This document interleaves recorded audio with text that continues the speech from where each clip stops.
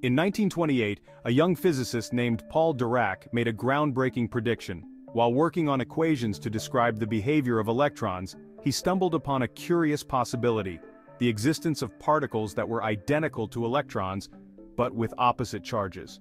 This marked the birth of the concept of antimatter, a mirror image of the ordinary matter that makes up our world. Dirac's idea was initially met with skepticism, it seemed too strange, too fantastical to be true. However his equations were elegant and compelling. They hinted at a deeper symmetry in the universe, one where matter and antimatter existed in perfect balance. This prediction set the stage for one of the most exciting pursuits in modern physics, the search for antimatter. The universe, it seemed, held a secret, a mirror world of particles that behaved in ways both familiar and utterly alien. The concept of antimatter is deceptively simple. For every particle of matter there exists an antiparticle with the same mass but opposite charge. Take for example the electron, a fundamental particle with a negative charge. Its antimatter counterpart is the positron, identical in every way except for its positive charge. This principle extends to other particles as well. Protons, the positively charged particles found in the nucleus of an atom, have their antimatter counterparts, antiprotons. Similarly, neutrons, the neutral particles in the nucleus, are mirrored by antineutrons. The existence of antimatter wasn't merely theoretical speculation. In 1932, Carl Anderson, an American physicist, discovered the positron while studying cosmic rays. This discovery confirmed Dirac's prediction and opened a new chapter in our understanding of the universe. The discovery of antimatter raised a profound question. If every particle of matter has an antimatter counterpart, where is all the antimatter?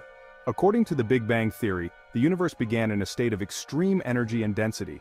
This energy should have condensed into equal amounts of matter and antimatter. However, when we look around us, we see a universe dominated by matter. Antimatter is incredibly rare, only observed in high-energy events like cosmic ray interactions or produced in laboratories. This asymmetry, this imbalance between matter and antimatter, is one of the greatest unsolved mysteries in modern physics. One possible explanation lies in a subtle phenomenon known as CP violation. This principle, observed in the decay of certain particles, suggests that the laws of physics might not be perfectly symmetrical for matter and antimatter. This tiny imbalance could have tipped the scales in favor of matter during the universe's infancy, leading to the matter-dominated universe we observe today. Section 4. Antimatter in Action. Annihilation and its Potential. The most intriguing aspect of antimatter lies in its interaction with matter. When a particle of matter meets its antimatter counterpart, they annihilate each other in a burst of energy. This annihilation is complete, converting 100% of the mass of the particles into energy, as described by Einstein's famous equation, E equals mc squared. This energy release is far more efficient than any other known process, making antimatter the ultimate fuel source. A tiny amount of antimatter could theoretically power spacecraft to distant stars, or provide clean and abundant energy for our planet. However, harnessing this power presents formidable challenges. Producing and storing antimatter is incredibly difficult and expensive. Antimatter must be kept isolated from ordinary matter to prevent annihilation, requiring sophisticated magnetic traps. Section 5, Antimatter Today, From Medicine to the Quest for Energy. Despite these challenges, antimatter is no longer solely the realm of science fiction.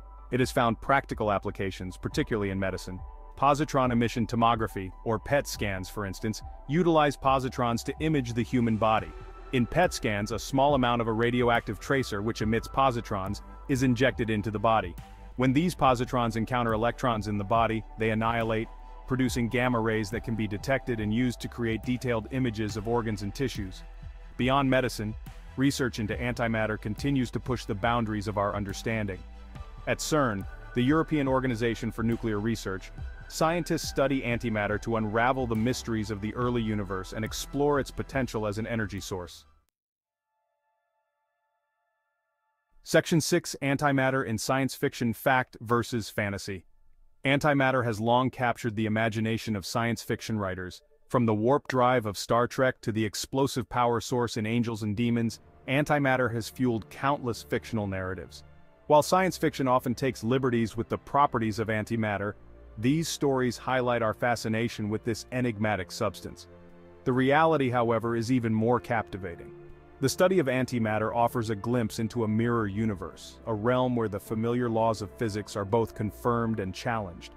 It's a realm of incredible energy, profound mysteries, and the potential to revolutionize our understanding of the cosmos. As we conclude our journey through the enigmatic world of antimatter, let's take a moment to ponder its future. The study of antimatter isn't just a scientific curiosity, it holds the promise of groundbreaking advancements.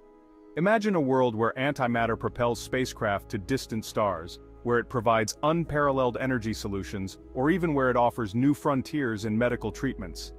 The challenges are immense, but so are the possibilities. Scientists around the globe are tirelessly working to harness the potential of antimatter, striving to turn what was once the stuff of science fiction into reality. The future of antimatter is not just about understanding our universe, it's about transforming it. If you enjoyed this video, don't forget to subscribe to our channel. Could antimatter be the key to unlocking the secrets of the universe? Let us know in the comments below.